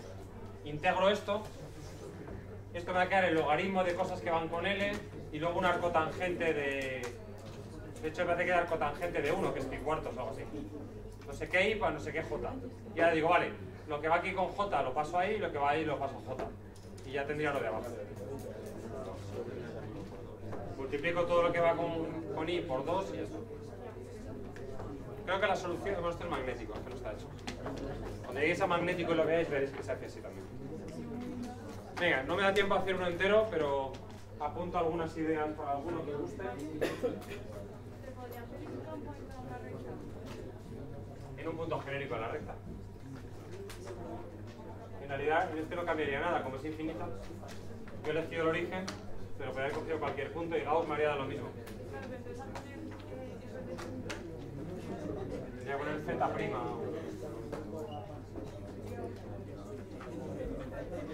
Pero luego tendría que hacer, para hacer las integrales horrorosas de las tablas, tendría que hacer un cambio de variable y decir u es z menos z. Y al hacer la integral impropia desaparece cualquier rastro de z. Este, por ejemplo, callaos por favor, vamos a aprovechar. Este es igual que el anterior.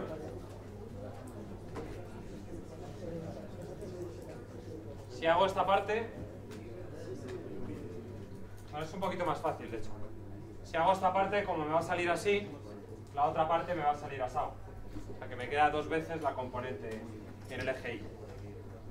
Pero aquí tenemos lo de los hilos torcidos. Entonces, venga, por favor. Mi recomendación con los hilos torcidos, y sigue siendo mi recomendación, es mejor girar los ejes. Es mejor girar los ejes y hacer este problema.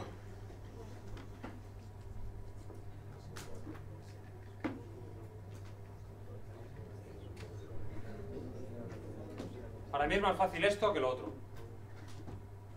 Porque aquí todo va, esto va con X, esto va con Y, no sé. Lo otro ya empezamos con los diferenciales, cada uno lo que quiera.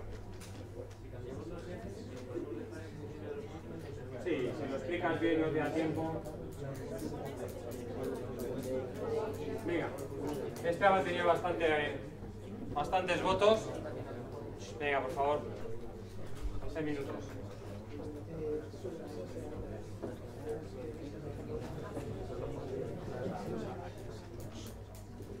Venga, vamos a aprovechar. Si no digo vuestro nombre, digo los que estáis en casa, culpa de Yolanda que no. Bueno, vamos a hacer este. Me dicen, ¿cuál es la velocidad mínima para que esta carga positiva llegue justo al origen de coordenadas? De momento, lo que os ha pasado antes, que tiene que ver aquí la velocidad con todo lo demás. Bueno, pues no pasa nada. La estrategia que hemos usado en el curso, que es hacer un plan. ¿Qué sé yo en la vida de velocidad? Pues sé lo de la cinemática, ¿vale? Que derivada de v con respecto al tiempo es a, bla, bla, bla. La cantidad de movimiento aparece también la velocidad y en la energía cinética aparece la velocidad. Y bueno, energía cinética, voy a ir por ahí porque lo otro no le veo yo el tema. De hecho, habría que hacer un DCL. Aquí se supone que se desprecia la gravedad. Entonces vamos a tener una fuerza electrostática que como es una carga puntual, y DCL sería una cosa así. Entonces, si lo hiciera por cinemática, yo diría, esto es igual a masa por aceleración. Problema, que la aceleración va a depender de esta distancia. Va a ser un caso 3 de esos que decíamos en cinemática. Ya ni me acuerdo, ¿no? Así que bueno, voy a pensar un poquito en energías. Y de energías solo sé una cosa en la vida. Trabajo de las fuerzas externas no conservativas más trabajo de las fuerzas internas no conservativas igual a variación de energía, bueno, ya decimos energía total, conservativa, digamos. Fijaos que mi DCL solo tiene una fuerza. Luego no hay fuerzas externas de ningún tipo. Eh, Mejor dicho, no conservativas. ¿Vale? Hay una fuerza conservativa. Así que tendré variación de energía potencial más variación de energía cinética igual a cero. Y ahora sigo pensando. Esto es lo que me interesaba. Porque aquí dentro está la velocidad. Es más, lo que me dicen es que esto parte con una velocidad conocida. Pero eso de mínima me desconcierta un poco. ¿Qué significa eso? Que tengo que llegar justo aquí con velocidad cero. Si fuese más bajita que la mínima, no llegaría. Fuese más grande, me pasaría. Luego la velocidad mínima es la que hace que la velocidad en i igual a cero, que parece un potencial, pero bueno, la velocidad en i igual a cero sea cero. Así que esta parte tiene dos cosas que me gustan. La energía cinética final, que es cero, y la inicial, que es la que me piden en el fondo, que me piden esta V. Vale, vamos con la energía potencial. ¿Qué sé yo de la energía potencial? Pues que es la, los trabajos asociados a las conservativas. Aquí solo hay una, que es el campo eléctrico. Y hemos visto antes en el resumen que la diferencia de la energía potencial es la carga por la diferencia de potencial.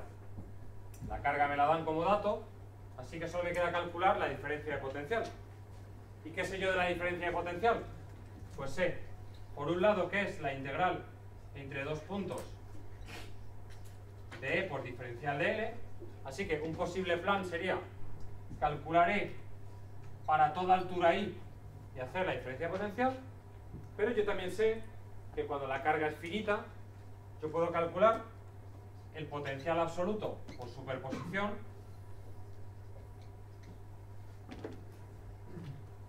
y luego decir, vale, pues ahora cambio y cojo para un caso y una altura i, para el otro 12a y para el otro caso una altura 0. ¿Vale? Entonces yo voy a seguir ese camino. ¿Por qué? Porque sé que os da urticaria hacer esa integral. Pues entonces vamos a hacer el potencial por superposición. Y ahora digo, vale, tengo aquí dos hilos, pero los dos son iguales. Son simétricos respecto a ese punto, mejor dicho. ¿Vale? Como el potencial es un escalar, si yo calculo el potencial de este, el potencial total será 2 por el potencial que hace, por ejemplo, el de la derecha. Así que voy a hacer el potencial del de la derecha. Y como es finito, no puedo aplicar Gauss. Así que aplico superposición. ¿Y cómo calculo yo campos por superposición? Me dibujo unos ejes, me dibujo un diferencial de Q suficientemente genérico, por ejemplo aquí,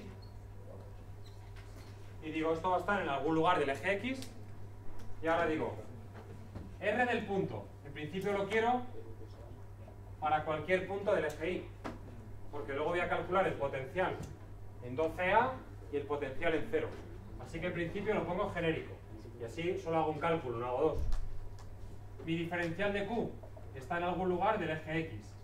No voy a poner errores típicos de estos que ya hemos discutido. No voy a poner 9A más X. ¿Vale? Esto es de perdedores. Porque luego la integral ya le diré que va de 9A a donde sea. Yo le llamo X y ya está. Yo es que me lío con eso. Bueno, pues ¿qué es lo que estamos haciendo por superposición? Imaginaos que en vez de tener esto yo tuviese esto. Olvidaos del hilo. Si alguien entrase en clase y dijera, oye, chaval, dime la coordenada, dime la coordenada de ese puntito. Pues me diría x0, ¿no? Pues eso es lo que hago siempre con el dq. Cuando digo el r del dq, yo vale, si yo pinto un dq y me olvido de mi problema, ¿dónde está? Luego cuando integre ya diré, ah, es que esto estaba sobre un hilo. Pero no le suméis esto porque es equivocarse luego seguro en los límites de integración. Vale, entonces, r será raíz cuadrada de x cuadrado más y cuadrado. Paso 2, diferencial de q. Como esto es un hilo en una dimensión, será lambda por la dimensión en la que troceo mi hilo. Paso 3, ya he elegido mi diferencial de x, integro de menor a mayor, desde 9a hasta 16a. Y ya junto a las piezas, el potencial será k por diferencial de q partido por el módulo de r, nada del cubo, esto no es un campo, y nada de vectores porque esto es un escalar. miramos en las tablas que tenéis impresas, que tenéis a clase todos los días, y ya tengo el potencial en I. Vale, pues entonces, diferencia de potencial. Potencial en el punto final menos potencial en la altura inicial, ¿no? Que era 9, 12. 12. Con la diferencia de potencial calculo la diferencia de energía potencial. Con la diferencia de energía potencial calculo la, energía, la diferencia de energía cinética. Y con la energía cinética inicial saco la velocidad.